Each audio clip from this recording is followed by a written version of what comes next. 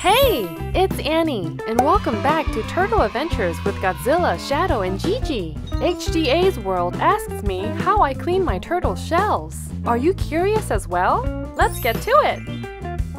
It's very important to keep the water in your turtle tanks clean at all times. And if you do this by using a good water conditioner and water filter, you shouldn't have to brush your turtle shell very often. But sometimes, natural buildup may occur, so today, we'll have Godzilla demonstrate how I use a super soft toothbrush to gently scrub her shell. I like to drop the brush in the cleaning tank before we start, just as an introduction to her and to not surprise her with a foreign object right at the get-go. Godzilla has been with me for 15 years, so she already knows what's about to go down. And you can see her throw a little tantrum here. Then, I proceed to gently scrub the top of her shell, also called the carapace, in small circular motions, mindful of not stressing her out too much.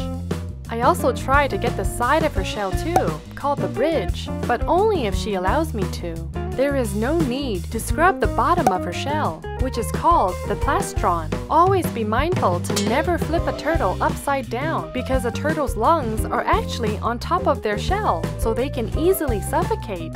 So if you ever see your turtle accidentally flip themselves on top of their shells and are having trouble flipping back, help them out. They'd really appreciate it. After a short session of a gentle scrub down, Godzilla's shell is shinier and should be fine for at least a few months.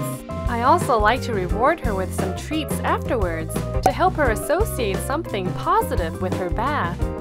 And with that, I hope this was helpful to you, turtle friends. And know that every turtle have different personalities, just like us. Never do anything that stress your turtles out, and I wish you all many years of wonderful memories with your beloved turtles.